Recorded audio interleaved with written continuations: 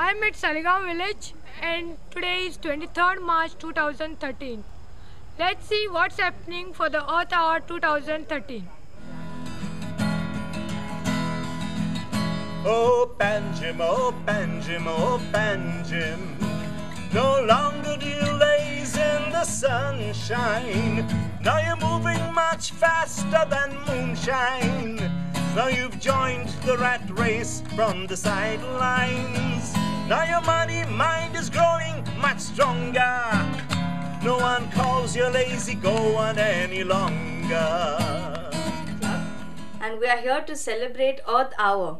Earth Hour is a global event which is organized by WWF. It is basically an, an event where people are asked to switch off their non essential lights at home and it's, it is to raise awareness on the need to act for the environment and to reduce our carbon footprint.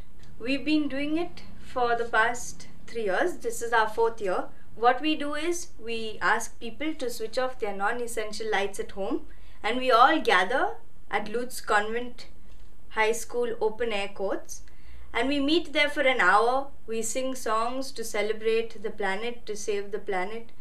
We have an open and little session where everybody shares ideas on what we can do to save the environment. Basically, Earth Hour should happen in every little village in Goa, and it's an appeal to everybody from each village to have small little Earth Hour celebrations in their own village, whether with their families or even if you live in a building right below in your building complex with a few people from the building. We have to start small. This is Sulochana Pednekar from Saligaon, Goa, reporting for India Unheard.